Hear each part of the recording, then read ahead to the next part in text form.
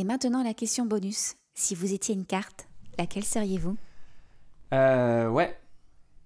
Ouais, s'il y a bien une question à laquelle je peux pas répondre, c'est celle-là. J'ai passé tellement de temps avec, avec les cartes, à jouer avec elles, à les regarder, à les incarner, à les vivre, à, lire leur histoire. Je, je pourrais pas dire laquelle je serais. J'ai une, j'ai une telle affection pour ces, pour ces personnages, ces scènes qui sont de ma famille. Je, quand je, enfin, je veux dire, quand je, regarde, je regarde ces cartes, euh, la papesse, c'est ma conseillère, le battleur, c'est mon frère, euh, le, l'empereur, c'est mon mari, euh, l'ermite, c'est, c'est mon guide, le soleil, c'est celui qui me rassure, Tempérance, c'est celle qui vient m'écouter, c'est des gens qui font partie de mon entourage, ils sont moi, ils sont à moi, ils sont en moi, ils sont avec moi. Je pourrais pas dire. Euh, j'aime le battleur pour, euh, euh, pour son inventivité, j'aime la papesse pour, pour, son érudition, l'impératrice pour son esprit si prévenant qui pense toujours à tout, l'empereur pour, pour son aspect rassurant, le pape pour son, son, son sens du partage et sa pédagogie. Euh, j'aime l'amoureux pour son, son hédonisme et, son plaisir à vivre toutes les, petites choses du quotidien. Le chariot parce qu'il a confiance en lui et que même quand ça patauge en bas, il, donne bonne impression. La justice pour son intransigeance et puis sa, sa précision. L'ermite, je l'aime pour sa prudence et puis son sens de l'observation. La roue pour sa, sa, folie, sa fantasmagorie. Euh, la force pour son audace et parce qu'elle est, elle est couillue et que elle n'a pas peur et elle y va. Le pendu parce que euh, euh, parce qu'il est patient et parce qu'il sait que les choses doivent prendre du temps. Hein. On, ne tire pas sur un grain de riz pour le faire pousser. La mort, la 13, l'arcane sans nom, pour sa capacité à se dépasser, à aller plus loin, à repousser les limites. Tempérance pour son bon cœur, sa gentillesse, sa générosité. Le diable parce que euh, c'est toujours plus, il est too much, c'est jamais assez, il est fantastique, puis il est, il est complètement diva, il est incroyable. Euh, la Maison Dieu, parce que elle réveille en nous notre capacité à rebondir, nos réflexes de survie, nos instincts reptiliens. Euh, l'étoile, parce qu'elle a une foi inébranlable et qu'elle doute de rien, elle a jamais peur et, et elle abandonne tout et elle croit, elle croit et c'est magnifique. Euh, la lune, parce que la lune, elle a des délicieux vices cachés qu'elle laisse exprimer quand la nuit tombe.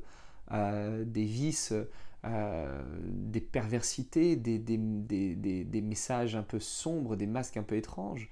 Le soleil, parce qu'il a une intelligence écologique fantastique. Moi, il me manque ça, mais j'ai ça. Toi, il te manque justement ça, mais par contre, tu as ça que je n'ai pas le jugement, euh, parce qu'il apporte une finalité aux choses et qu'on a besoin à un moment donné de terminer les choses. Le monde, parce qu'il euh, donne un rôle à chacun, que tout le monde a une utilité. Euh, le mât, pour, son imagination et sa capacité à, se dire que, bah ouais, après tout, ça, ça n'existe pas, ça veut donc dire qu'on peut peut-être l'inventer.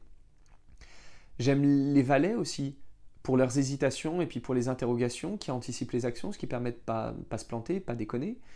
Euh, les reines, pour leur esprit très auto-tourné, euh, parce qu'elles ont compris que la personne la plus importante au monde, c'est elle-même, et on en a besoin.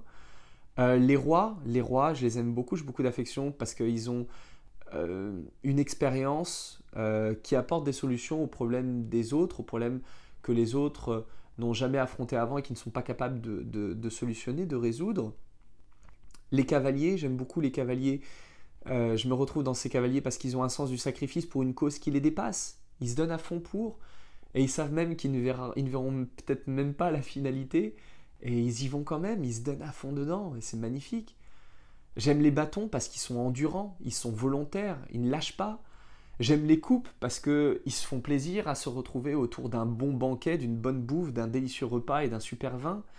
J'aime les deniers euh, parce qu'ils ont ce sens du commerce et du partage, parce qu'ils savent que rien n'est gratuit. Ils savent que rien n'est gratuit. Ils sont pas là à se dire non, non, je te rends service. Tous les services sont payants. À un moment donné, on rend service à quelqu'un, on sait très bien qu'on va attendre de sa part quelque chose en retour. Et les deniers savent très bien que ça n'existe pas, que la gratuité n'existe pas. Et comme ils savent que ça n'existe pas, au moment où ils rendent service, ils se disent c'est pas gratuit, j'attends quelque chose en retour, ben ça me fait plaisir de le faire, du coup c'est ça mon paiement, ce qui me permet de ne rien attendre en retour. Ce qui fait que ces gens, ces deniers qui vivent avec les pièces sont les gens les plus généreux du monde, parce qu'ils rien attendre d'autre, parce qu'ils savent qu'on attend quelque chose d'autre, c'est extraordinaire. Et puis les épées, les épées parce qu'ils sont directifs, parce qu'ils sont droits, parce qu'ils sont, ils sont rapides, ils sont vifs, et puis parce qu'ils n'ont pas de temps à perdre avec des circonvolutions, c'est l'objectif. Donc quelle carte je serais? Je, crois que je ne serais pas une carte parce que je suis toutes les cartes. Je le vis à un moment donné, je me réveille et je me sens battler aujourd'hui parce que faut que j'écrive tel chapitre, mais je suis pas sûr de moi, je sais pas comment faire, comment est-ce que je vais m'y prendre, puis je suis pas sûr d'avoir envie. Et puis l'instant d'après, non, je suis la papesse, je reviens dans les bouquins, allez, c'est de la méthode. Et puis l'impératrice, je me mets dedans, et puis je, le fais croître au fur et à mesure. Puis à un moment donné, je deviens l'empereur, je me dis, Là, j'ai un peu écrit, je vais prendre une pause et puis je vais soigner juste la forme, je vais changer la police d'écriture, puis je vais faire la couverture. Et puis à un moment donné, je suis le pape, je discute avec quelqu'un, tiens, mais ça, te dit par exemple de d'essayer là ce que je viens d'écrire? Et puis après, je suis l'amoureux, bah tiens, j'ai écrit ça, qu'est-ce que toi tu en penses? Et après, je suis le chat. Et puis voilà, en fait, on passe à chaque fois par toutes les cartes différentes.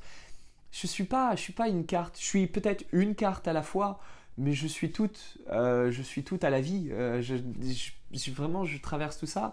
Et, euh, et je, je, peux pas avoir. Euh, je, je, peux, je peux pas décrire, je crois qu'aucune carte du jeu ne peut décrire euh, ce manège que je vis. Aucune ne peut décrire, mais toutes ensemble décrivent ça. Ce manège qui est de passer de l'une à l'autre.